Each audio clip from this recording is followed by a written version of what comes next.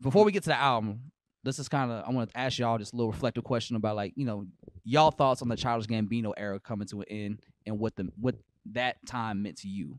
Um, I really admire Donald Glover and uh just how he just can do multiple things and he could be really great at it and he could you know, it seemed like he could do whatever he want. And but I'm cool with the this the Childish Gambino era being over. Like it don't stop him from being creative and making, you know, cool shit for us. I always I never looked at him as like Childish Gambino really. I always kind of seen the Donald whole Glover. yeah, Donald Glover as a package. So it don't really like hurt my heart.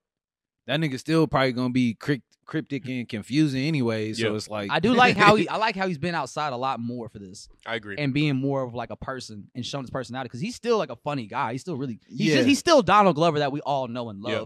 It's just we just didn't know that the last few years because he was so cryptic and private. But now since Bando Stone started rolling out, he's been more active. He just did a Hot Ones, which is good. And uh, on the Hot Ones, he talked about the ending of Childish Gambino in this chapter, chapter coming to a close. And I think it was Ludwig. He said that would always bring up like the death of Superman yeah. and like this, he's like, this is how it kind of feels for me. Like even though Superman's dying, like Clark Kent's still alive. Yeah. Mm, that's deep. I, yeah, that's great. That's No, deep. I think I felt, I felt a more emptiness or more like sorrow when Atlanta ended, Yeah, right? Because that's like a story. It's like synced. It's together. It's you know considered. I think for a lot, lot of the the project.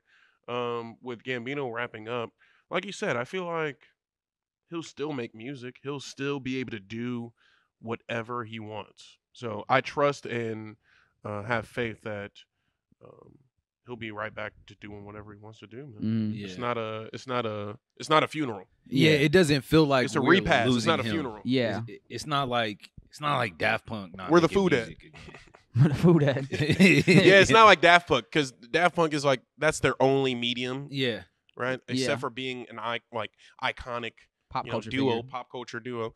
Um, Gambino's everywhere, man. Mhm. and He's in that- Star Wars. that's not to sound Facts. ungrateful, you know, Yeah, because I appreciate he he did make like albums fresh again. Yes. and he did put a spin on like just just music in general. And Yeah. I, I love that.